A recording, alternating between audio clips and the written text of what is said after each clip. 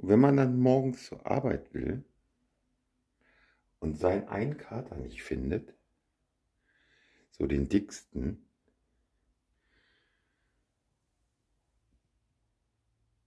versteckt er sich auf dem Schrank.